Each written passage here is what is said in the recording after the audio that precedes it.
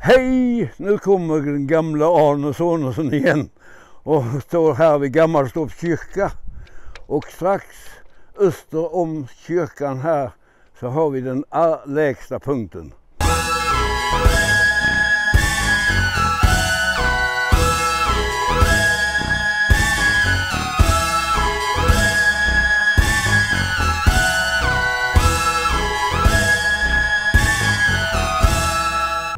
Som hade kommit från Amerika, hon hyrde i Torp ute vid Vesan.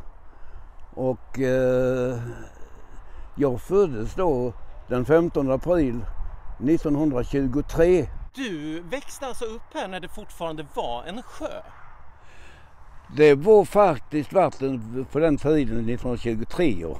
För utpumpningen började ju 1928. Jag var väl i 13, 13 års åldern.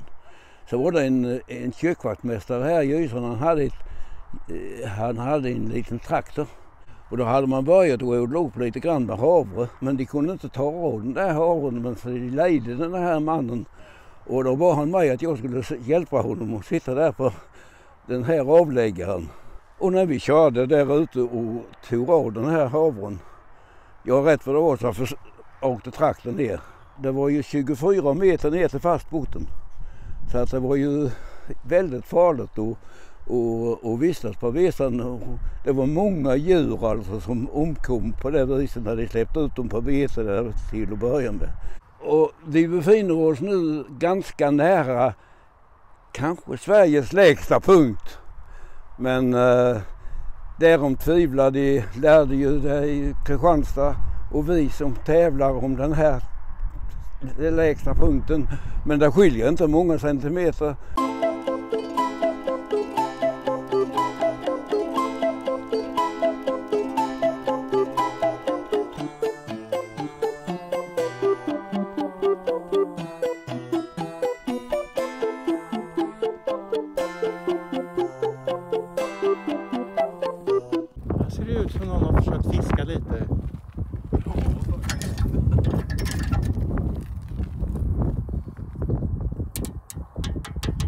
Vi tvistar ju med Kristianstad, men jag tror vi ligger ganska nära varandra.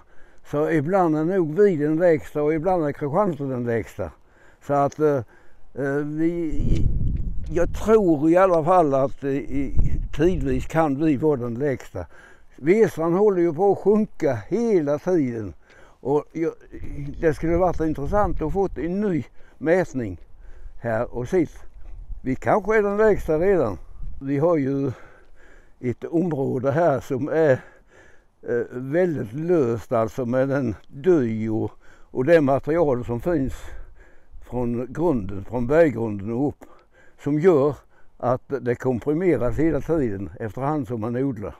Så med åren så kommer det här garanterat att eh, till slut slå Kristianstad på fingrarna? Det kommer att bli den lägsta punkten, absolut kommer det att bli den lägsta punkten i Sverige. Då har vi en stor skylt här som visar Sveriges lägsta punkt och då kommer turisterna hit.